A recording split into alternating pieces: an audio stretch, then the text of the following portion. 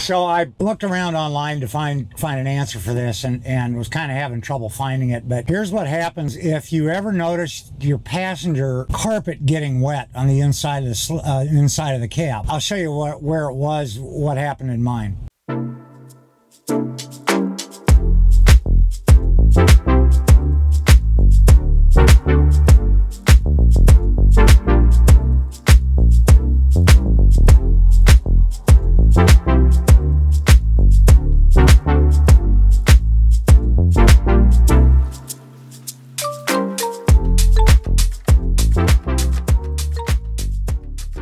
This area here on the passenger side was completely soaked, just saturated with water. So what I did was I obviously pulled up the floor mat and I had to get a towel and completely soak that water up and then go wash that towel. Obviously it was pretty damp. One of the things is the condenser is behind this panel here. If you ever have to have your air conditioner worked on, you might want to have them check that condenser to make sure the coils on the side uh, aren't full of dirt because the return fan right there, the filter for your fan is right under that door. And I take that out about every week or two and clean it out. It's a self-washing filter. That's where you'll notice the water right away is under here. Okay, so I'm going to get out and I'm going to show you behind the firewall uh, on the engine side. One of the reasons that it might be doing that is the drain line from your uh, condenser because it will put out, it'll emit water it drips water and if you notice uh, if you run your air conditioner during the summer heat there's there, there's usually water underneath your truck and that's where that line's supposed to drip now it can continue dripping but if it's plugging up at all it will back up into the carpeting on the passenger side of your of your cab so here's the this hose right here is the drain valve for my truck and when I squeeze this you can see the end of it is just a slit. And that's what allows the water to drip out of. This, this little slit is designed to keep dust and dirt from getting into your uh, drain valve. When I squeezed this, two gallons of water came out. I mean, it was this whole puddle here. So that's, uh, that's what happened. You don't want it to plug up because it's real simple to do that. But just squeeze that, make sure there's no debris inside that line. That'll help you quite a bit.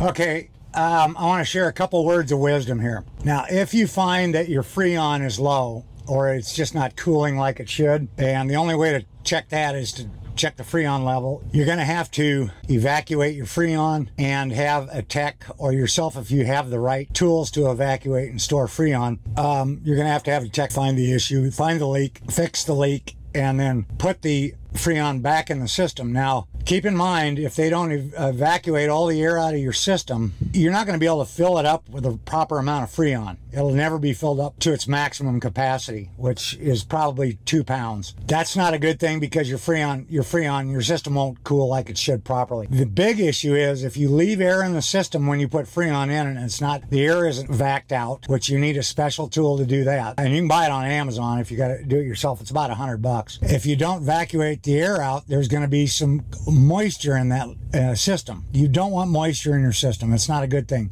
Even though most of the system is aluminum, you don't want moisture and air in your system. You want just Freon. So make sure that they evacuate the air out of your system when they do that. I, I'm not saying that a good tech wouldn't do that, but just double check. Hopefully that'll help with your wet carpet issue, if nothing else, uh, that you might have a drain valve, that a drain tube that's plugged. And that's the easiest way to, to unplug it is what I just showed you. So uh, I hope that helps and good luck and see you in the next one.